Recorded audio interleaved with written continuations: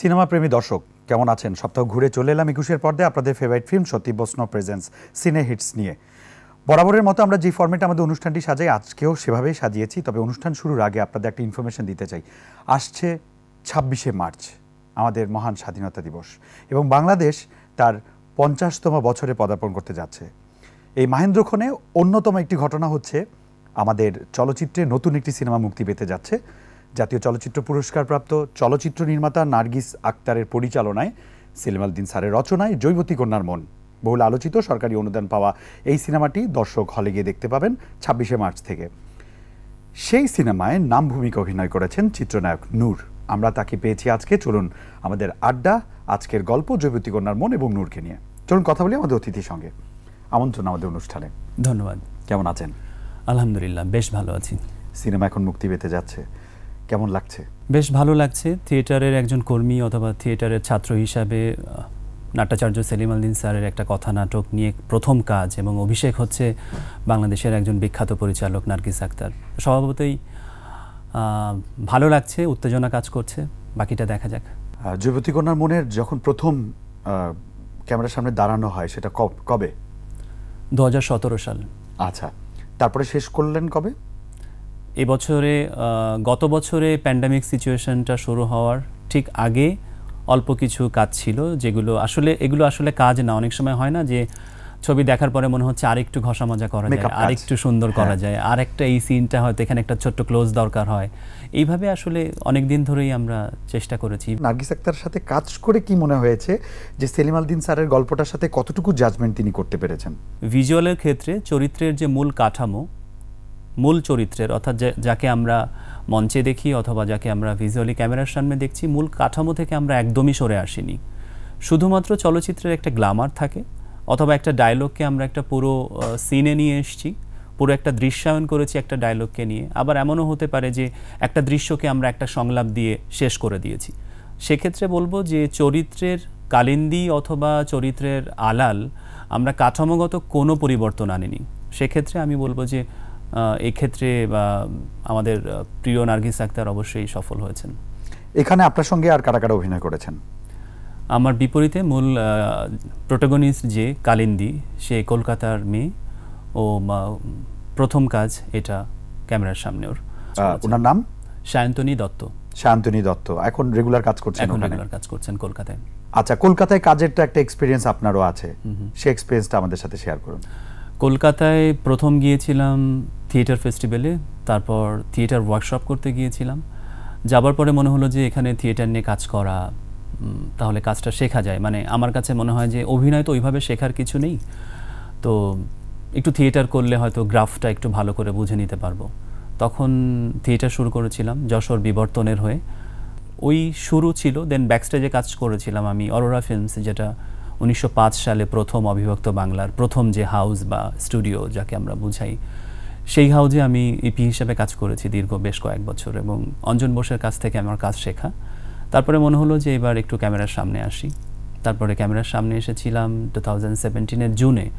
আমাদের অন ইয়ার হয়েছিল জুলাইয়ের চব্বিশ তারিখ থেকে। আচ্ছা নূর ভাই থ্যাংক ইউ আরও অনেক কিছু জানার আছে, কিন্তু তার আগে আমাকে একটু দর্শকের কাছে যেতে হচ্ছে। দর্শক বন্ধুরা, একটা ব্রেক নিতে হচ্ছে। দেখা হবে বিরতির পর, আমাদের সাথেই থাকুন।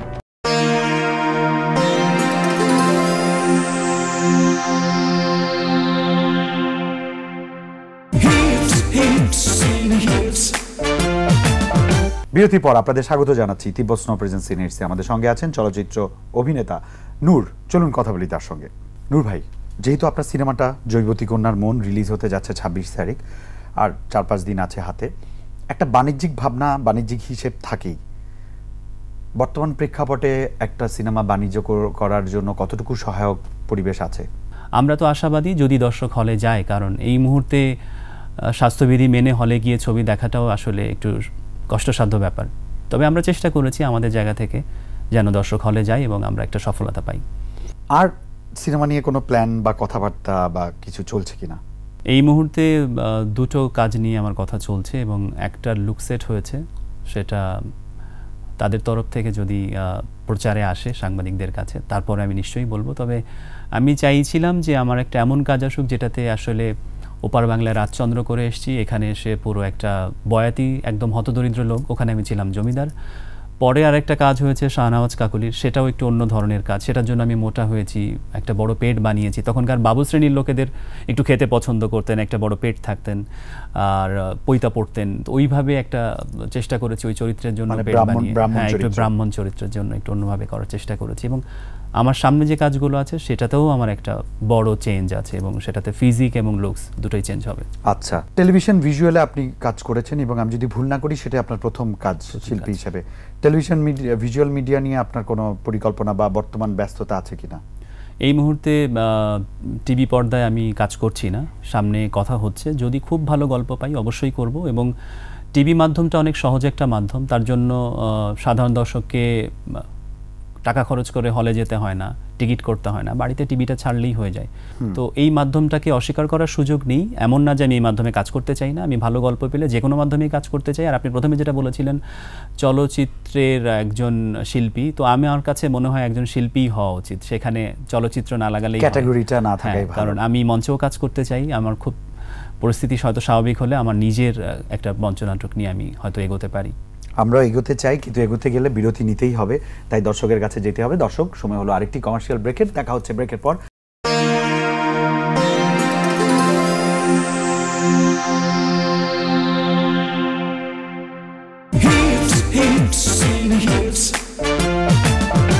After quick commercial break, I welcome you back to your favorite film show, Tiposno Presents in a Hits. We are along with film star Noor. Let's talk with him. নূর ভাই একটা ইন্ডাস্ট্রি তো আছে আর ইন্ডাস্ট্রি বা একটা ব্যবসা বা একটা পর্যায়ে যখন থাকে তার একটা উত্থান পথন থাকে।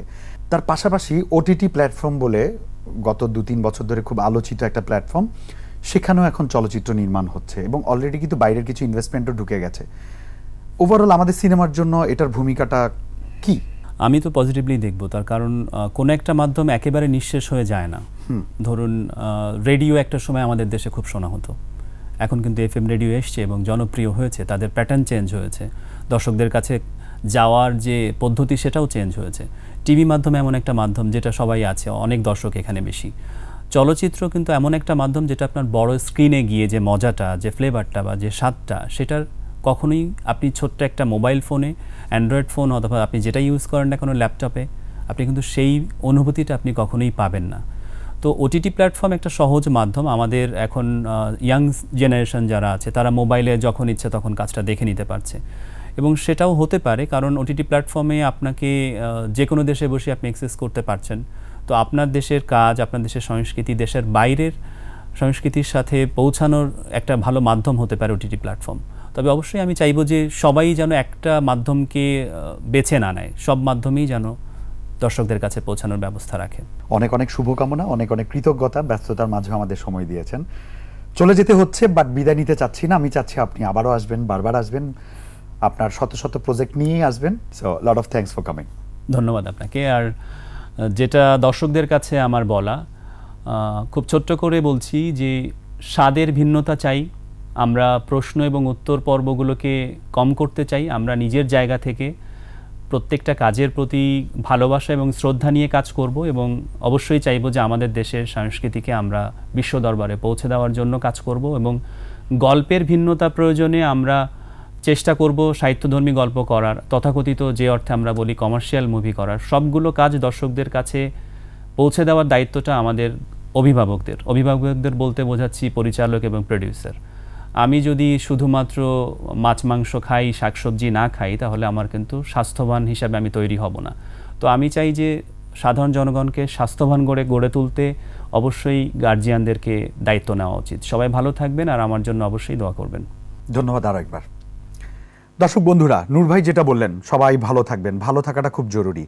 আর এখন যেহেতু প্যান্ডামিক সময় এবং আবারও সংক্রমণ বাড়ছে সো আরও বেশি সাবধান থাকতে হবে। তবে সামাজিক দূরত্ব বজায় রেখে আমাদের দৈনন্দিন কাজ এবং বিনোদনে আমাদের যে দায়িত্ব অথবা বিনোদনের যে খিদা, সেটা মেটাতে হবে।